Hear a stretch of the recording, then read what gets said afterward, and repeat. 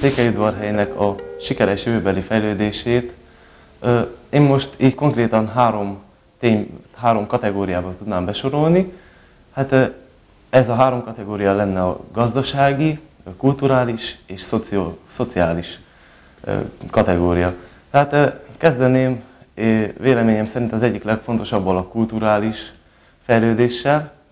Hát szerintem Székelyudvarhely kulturális fejlődésének az egyetlen módja a hagyományőrzés, ugyanis mivel iskolaváros és a fiatalság mondjuk úgy, hogy nagy számba jelen van a városban, a városnak van alapja és szüksége is, hogy a székely magyar hagyományokat fenntartsa ezzel a tétek, néptáncot, népművészetet, festészetet, tehát mindenféle téren.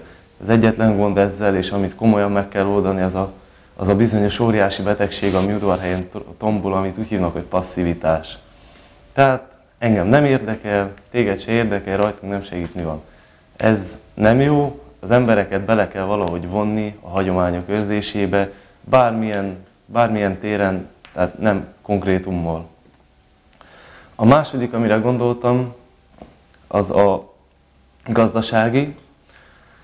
Hát itt ezzel lenne egy jó hasonlatom például, hogy ezt elmagyarázzam. Tehát gondoljunk bele, hogy Kibéden és Fenyéden terem valószínűleg Románia legjobb hagymája. Ugye mindenki szereti. De nekünk kell a holland hagyma.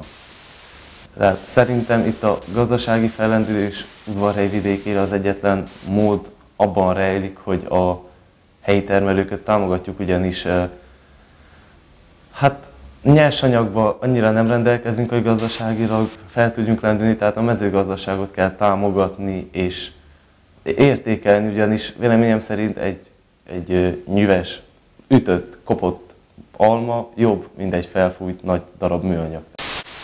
És harmadik szempont, ami egyben szerintem talán a legsúlyosabb udvarhelyen, ez, ez, ez a szociális helyzet, ami kialakult a városban.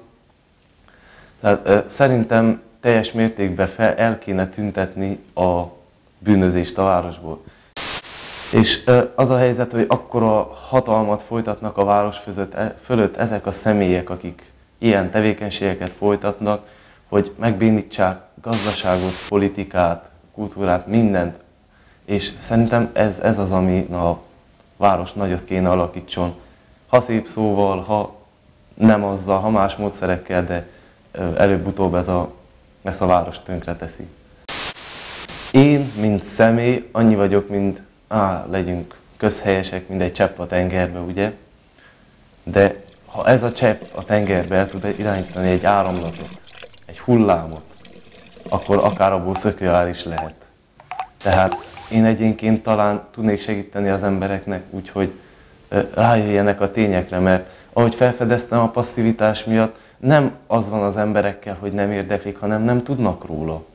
A, a hely, tehát nem tudnak informálódni helyes forrásokból, és ezen lehetne változtatni. Egyenként semmit se érünk, ezt már bebizonyította a történelem is, és pszichológia is minden, de ha a közös tudatot kicsit felébresszük, egy kicsit ö, szeretnénk, hogy ez a nép előrébb jusson, mint ahol volt, nem tudom, száz évvel ezelőtt, akkor erre szükség van.